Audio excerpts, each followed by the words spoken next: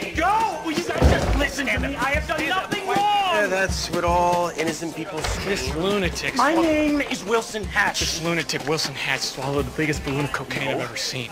We need an x-ray of his abdomen so we can get him on intent to sell. This is okay. This is my fly with people who don't know any better, but I am a partner at Wyman Frost and Handel. I know my rights. You guys have nothing on me. I'm out of here. I'm done. I'm leaving. Yeah, you're leaving. You're leaving this floor and heading up to radiology. Let's go, buddy. I don't consent to that.